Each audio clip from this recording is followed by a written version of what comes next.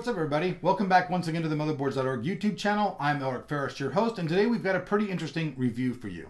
Today we're going to be taking a look at a pair of 6950 1 gigabyte cards. One card from XFX, one card from Sapphire, and showing you how they run in Crossfire mode. For those of you new to the channel, Crossfire mode is when you take two video cards, you combine the power of them to have a single powered card, which basically means you only got to plug a monitor into one card, but both of the GPUs are working in unison to give you ultimate power. A cool thing. A lot of people ask for the test station that we use here at motherboards.org, and so I'm going to go over some of the parts that we use. Starting out with the CPU, I use the Intel 980X, and I'm using a SpinQ from Thermaltake to cool that bad boy down.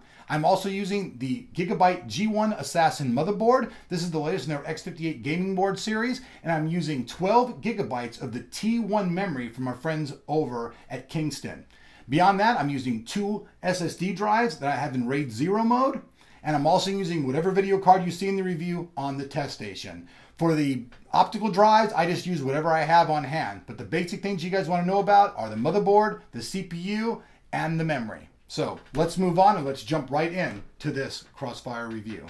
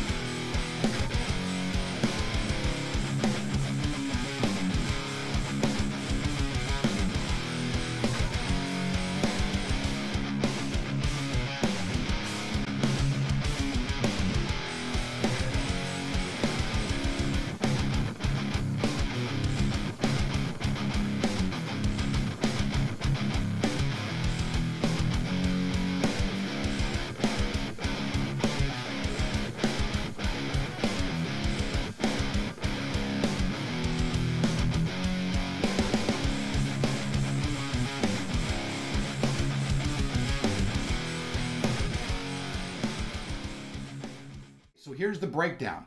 Some of the higher end cards are running into the five and six hundred dollar range. You can actually get a pair of these cards for about four hundred and fifty dollars if you look around. Crossfire configuration with the 6950 1 gigabyte card is anywhere between 30 and 100% depending on the application.